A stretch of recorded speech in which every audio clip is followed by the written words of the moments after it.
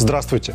В нашем цикле обзоров книг, посвященных городам, сегодня мы говорим об одном из самых необычных мест на планете – великолепной Венеции. Город на воде привлекает внимание на протяжении веков. Сюда стремятся люди, о нем слагают поэмы.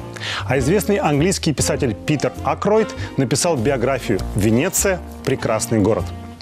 Первая глава называется «Начало», но на этом хронологический подход заканчивается. Дальше автор берет то или иное явление в жизни Венеции и рассказывает о нем, опираясь на факты из разных периодов истории. А Кройт показывает взаимосвязи, которые на первый взгляд невидимы или, по крайней мере, не очевидны.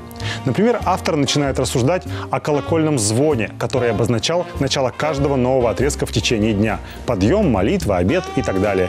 И приходит к тому, что в Венеции совсем иное ощущение во времени. Здесь невозможно спешить. Вода и каналы повсюду искусственно замедляют темп передвижения любого человека.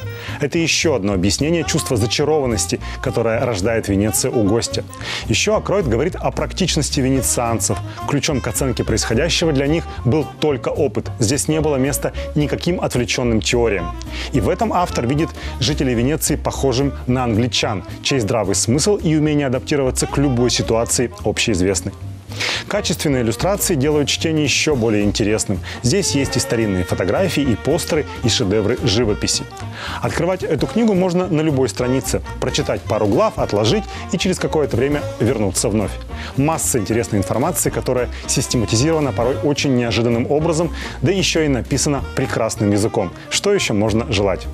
У Питера Акройда, кроме Венеции, есть еще биография Лондона. Надо обязательно прочитать и ее. Но пока Венеция – прекрасный город. Отличное чтение. Рекомендую.